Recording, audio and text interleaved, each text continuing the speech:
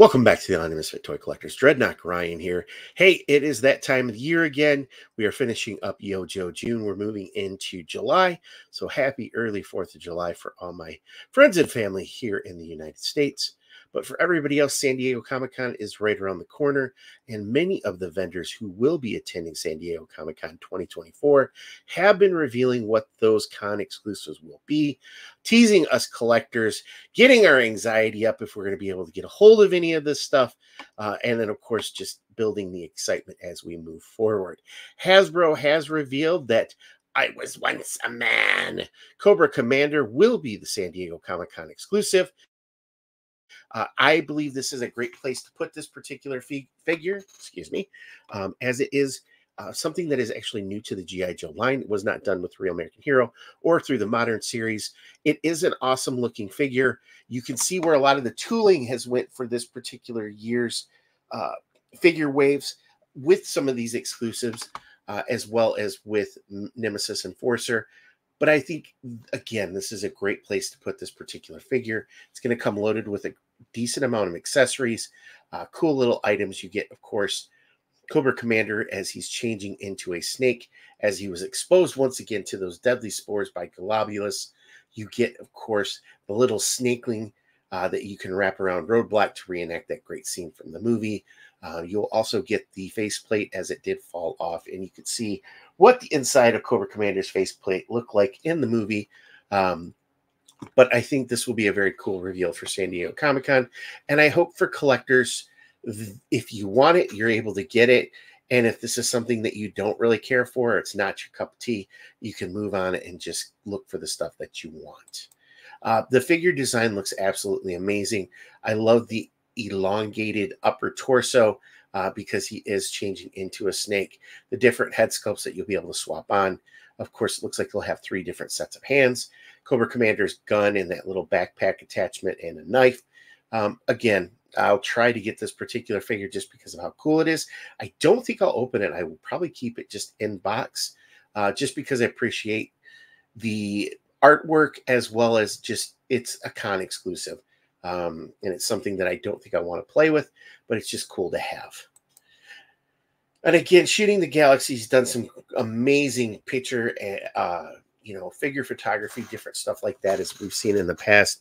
And with this particular figure, he's knocked it out of the park again. Uh, the picture with Roadblock is probably my favorite. Um, and again, a great con exclusive to have. Next up, I believe that we should be able to see the Nemesis Enforcer. For any of you who are going to San Diego Comic Con, I know that uh, Hasbro does a great job of setting up their booth, if you will. Um, so I do get to, I do believe we will see this particular figure out of box, set up those big wings spread out, um, and just get a better feel for this particular figure. I'm happy to know that the Cobra Commander is the San Diego Comic Con exclusive, and then this should be some sort of mainline release. I think if the choice between the two, uh, Nemesis Enforcer or Immortal, whatever they're calling him now, is something that probably more collectors would want than that Cobra Commander. Uh, but I can't wait to see how big this particular buck is. He looks like he's going to be a chunky boy, and I do hope they can use some of these parts on other figures down the road with the HasLab, hopefully we'll get an update on when we can expect the Dragonfly to be released. Um, I do again expect you'll see this in display uh, as well as all the other vehicles for the classified line, which I think will make for a great representation of where this line is uh, at currently. But I think it's also important to understand that I believe we'll probably see what we had with the 788 fire team, and I know BMAC and Lenny had made mention of this on the last stream, uh, but I do believe that we'll get some sort of two pack of the Gold Head Steel Brigade colored figures that you can use with your Dragonfly, as what we saw with his tank. I think that this is a smart marketing uh, tool to use. It gets troop builders out there where you can recolor uh, but again, if you did not purchase a particular HasLab, it still does not stop you from being able to purchase these figures. So this, I think, will be one of those reveals that we'll get. Uh, is it some sort of Dragonfly, um, you know, support team that will be out there as well? Of course, we'll get the HasLab reveal probably worst kept secret. It was one that kind of surprised me, uh, but it will be the Cobra Rattler. This is an iconic vehicle, again, from the G.I. Joe Real American Hero days. It is based off the A10 Warthog, uh, just Cobrafied, if you will. Um, it's a great vehicle if you had it as a kid, even when they did the modern re release of it. It's just an absolute fun vehicle. Originally, it did come with damaged panels that you could get, a number of missiles and bombs. I hope that they continue with that as well. My predictions for the figures is what we've seen in the past. So we've seen one female figure and normally uh, two other male figures.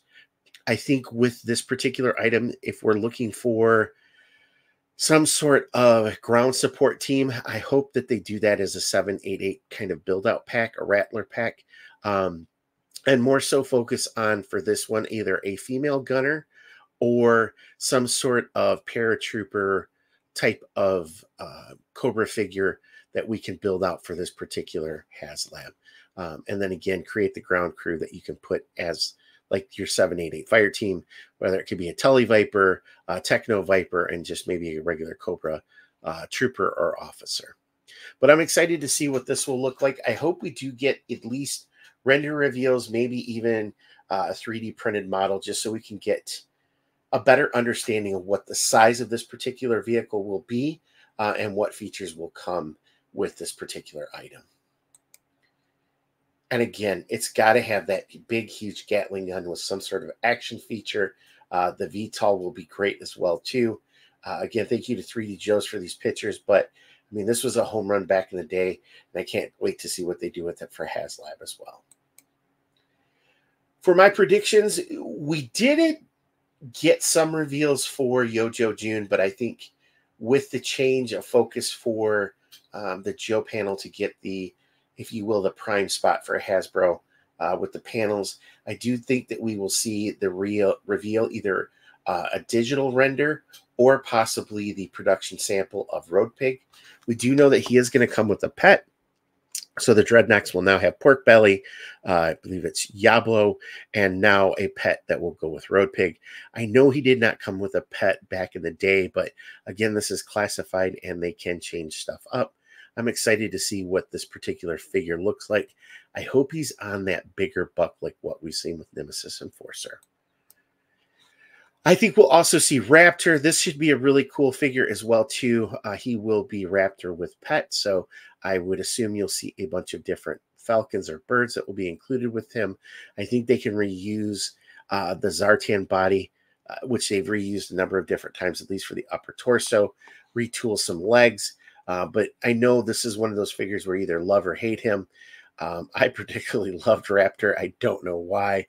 Um, maybe it was because of Silverhawks as a kid, uh, but he was just one of those figures that was just so ridiculous that he was cool to me. So I can't wait to see what we get with this. And then I hope we get to finally see the Action Pilot and Action Marine. We do know that the Action Marine will be a female soldier. I believe she's going to be a sniper. Uh, and I'm also hoping that the pilot has some sort of working parachute. That would be amazing if they could do that. I think it would be a fun little feature for this particular toy. And I do expect this particular line, the 60th anniversary throwback figures, to continue uh, over the next couple of years for Hasbro. It seems they've done pretty well for themselves. They're great figures. It's all reuse of other figures that we've already had in the line, um, but just with different paint applications and accessories, they look awesome. And then finally, my last prediction, um, worst kept secret, of course, is Heart Wrencher should be coming to the line.